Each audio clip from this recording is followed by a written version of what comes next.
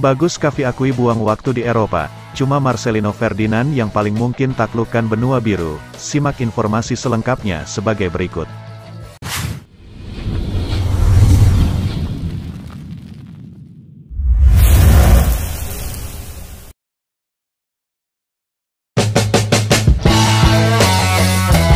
Bagus Kahvi mengakui membuang waktu dengan terus bermain di Eropa, realita menyedihkan pemain Indonesia yang mencoba berkarir di benua kiblat sepak bola. Bagus sempat dianggap sebagai striker masa depan timnas Indonesia, setelah mengantar timnas U16 menjadi juara Piala AFF dan menjadi top skorer Garuda Select. Keputusan berkarir di Eropa sempat dipuji oleh publik Indonesia, tetapi 2,5 tahun berselang barulah terkuak, perjudian, itu tak membuahkan hasil. Bagus pertama kali hijrah ke Eropa pada Desember tahun 2020, memanfaatkan koneksi Dennis Wise ke Jong FC Utrecht.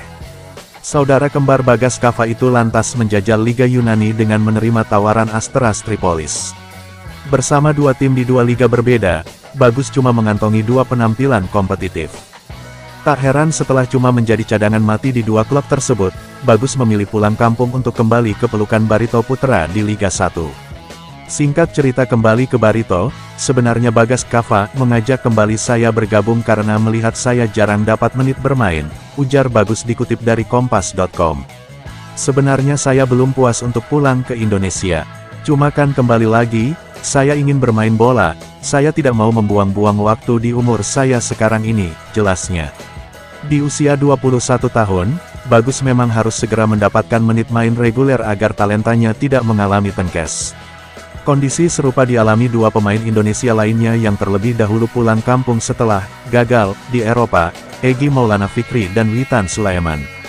Egi Maulana Fikri praktis cuma menjadi pilihan reguler dalam satu musim di antara 4,5 tahun menjajal benua biru.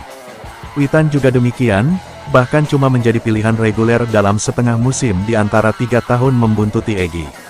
Masa main reguler bagi Egi dan Witan sama-sama terjadi di FK Senika, Liga Slovakia, pada musim 2021 per 2022. Praktis cuma Marcelino Ferdinand, pemain Indonesia yang mampu langsung mencuat di sepak bola Eropa tanpa beradaptasi terlalu lama.